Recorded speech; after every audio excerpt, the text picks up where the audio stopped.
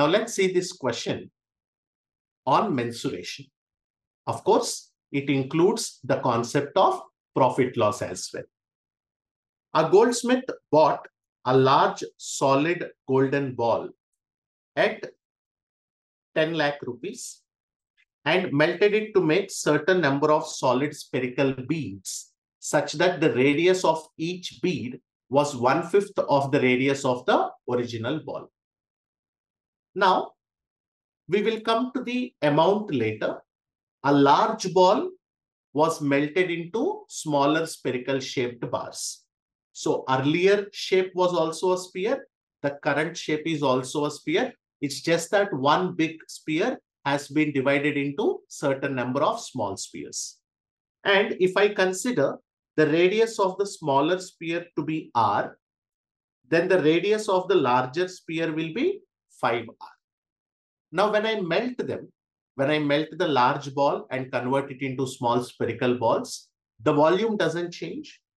So volume of a sphere, 4 third pi r cube is equal to, let me assume we were able to make n small spherical beads.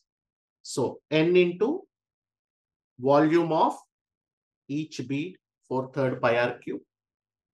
Now 4 by 3 pi gets cancelled out.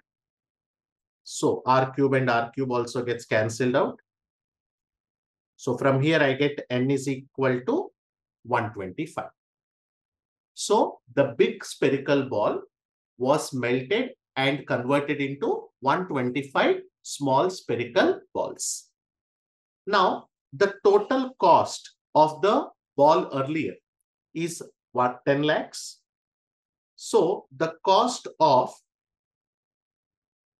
each spherical shaped bead is 10 lakhs by 125, which is equal to 8,000. So this is the cost price.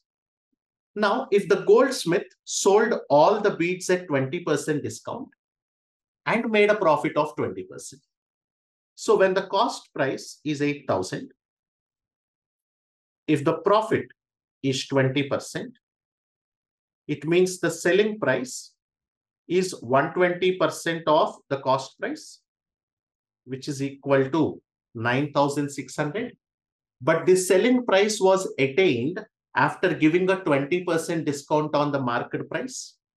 So if I assume the market price to be M after giving a discount of 20%, which means 80% of market price is equal to the selling price of 9,600.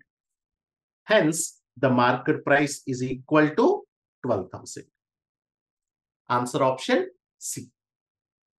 Now, once you understand this question clearly, we would like you to try the replica question that you see on the screen and post your answers in the comment section below.